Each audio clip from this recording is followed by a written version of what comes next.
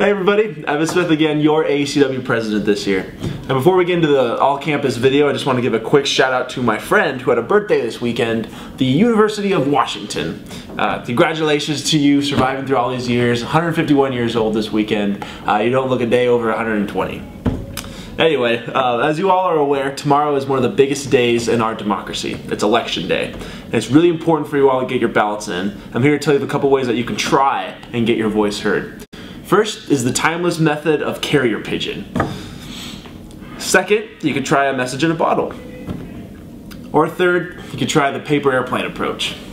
Or, if you want to save money on postage and not risk bodily harm, you can utilize the new ballot drop boxes available in Red Square from 7 a.m. to 8 p.m. tomorrow. And uh, our Office of Government Relations worked hard to make sure that this resource is available to you. And they'll be out there all day tomorrow with music and fun, and it can serve as a resource to help you vote. Um, and I can't overstate the importance of participating and voting tomorrow. The issues that we face, you know, matter to us in our generation. And we need to stand up as leaders of this generation to get out there, to organize, and to speak up. Because if we don't, someone else will. So join us for our All Dawgs Vote campaign tomorrow in Square uh, near the ballot drop box, and afterwards in the hub for the election results party we'll be having. You know, at the ASUW, we don't take these rights for granted, and we want to stand up for you and make sure that you've got all the tools necessary to be the best citizen possible. And until next time, thanks for tuning in. Oh, there you are.